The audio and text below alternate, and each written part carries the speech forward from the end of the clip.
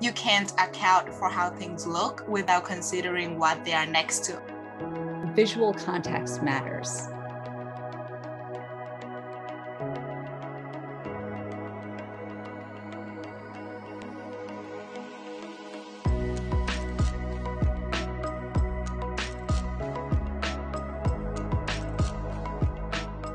Gestalt psychologists uh, were had to flee Germany, and the new school was the university in the United States that uh, a lot of people went to.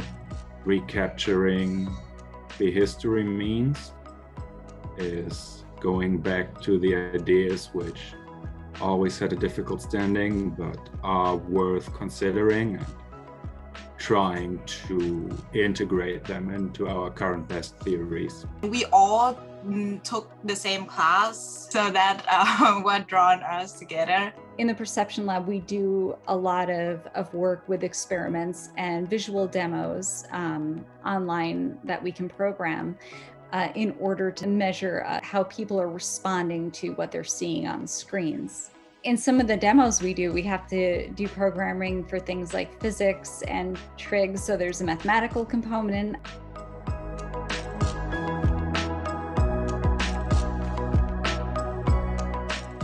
We invite well-known philosophers and psychologists with a historical orientation.